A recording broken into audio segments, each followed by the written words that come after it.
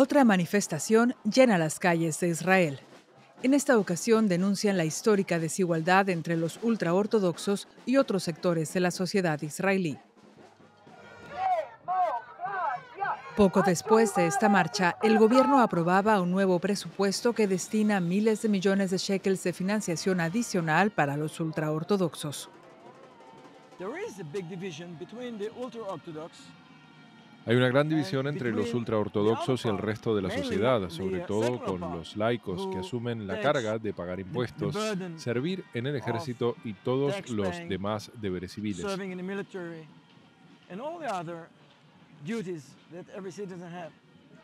Boaz Arat es un abogado jubilado.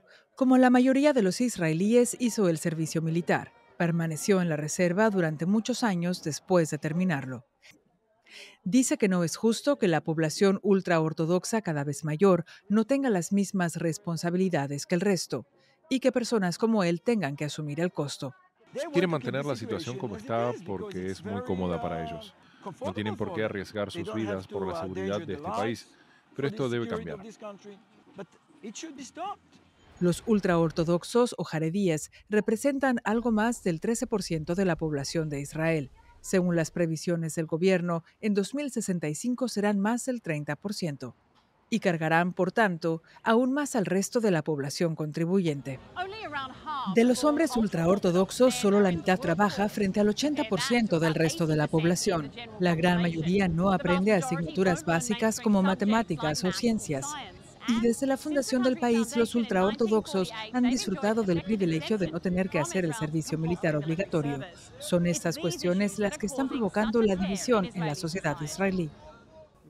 Yossi Levi es uno de los pocos ultraortodoxos que han querido hablar con nosotros. Una voz discrepante. Los jaredíes no quieren participar en la sociedad israelí. Él opina que la comunidad jaredí debería involucrarse más. Para ello, también dirige un grupo que intenta tender puentes con la sociedad laica. Todo el mundo entiende, incluso la sociedad jaredí, que tenemos que formar parte del ejército y de la economía, pero no vamos a lograrlo en un día. Hay que ir paso a paso. Hoy tenemos más de 300 soldados jaredíes en el ejército. No es suficiente, pero cada vez son más. Dice que forzar la integración no funcionará, que solo generará rechazo y hostilidad y que superar la división es una calle de doble sentido. Cuando la sociedad israelí acepte los valores de la sociedad jaredí, pienso que la sociedad jaredí estará más abierta a escuchar los problemas de la sociedad israelí. Todo indica que el acercamiento no será sencillo.